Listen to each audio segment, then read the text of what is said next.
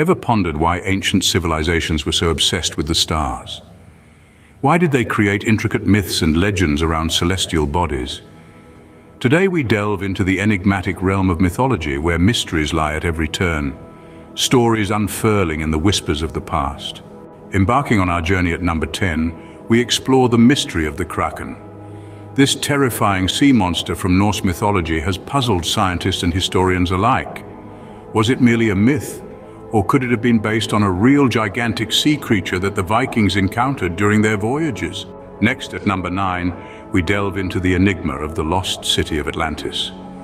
Described by the ancient Greek philosopher Plato, Atlantis was a powerful and advanced civilization that vanished in a single day and night of catastrophic earthquakes and floods. But did Atlantis ever exist? Or was it merely a cautionary tale crafted by Plato? Our eighth mystery takes us to the perplexing world of sacred texts. The Vedas, ancient Hindu scriptures, contain references to flying chariots and divine weapons of mass destruction. Could these be mere flights of fancy, or do they hint at advanced technologies unknown to modern science? At number seven, we have the mystery of the phoenix. This mythical bird, known to rise from its own ashes, symbolizes rebirth and immortality. But why did such a concept originate, and what does it truly signify?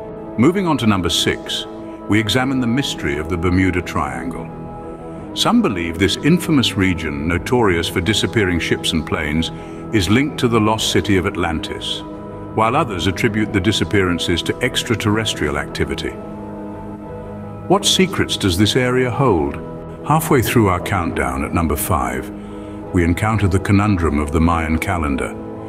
This complex system prophesied the end of the world in late December 2012. When the prophecy didn't come true, it left us wondering, what did the Mayans actually mean? For our fourth mystery, we delve into the realm of mythical creatures. Unicorns, dragons, mermaids.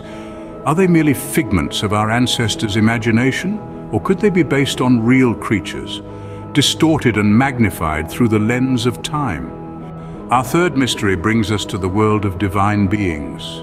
The gods and goddesses of mythology wielded incredible powers and were immortal. But where did the concept of such beings originate? Are they metaphors for natural phenomena, or do they represent something deeper? Just missing the top spot at number two, we explore the mystery of the underworld. Almost every mythology has a concept of an underworld, a place where souls go after death. But why is this concept so universal? And finally, at number one, the greatest mystery of all, the creation myths. Every culture has its own story of how the world began. But why are there so many different versions? And what do they tell us about our ancestors' understanding of the universe? From the depths of the ocean to the farthest stars, from the dawn of time to the end of the world, mythology weaves a rich tapestry of mysteries. Today we've only scratched the surface of these enigmas, as we continue our journey through the labyrinth of mythology, remember every myth holds a secret and every secret a story. Until next time, keep questioning, keep exploring, and who knows, you might just uncover a mystery of your own.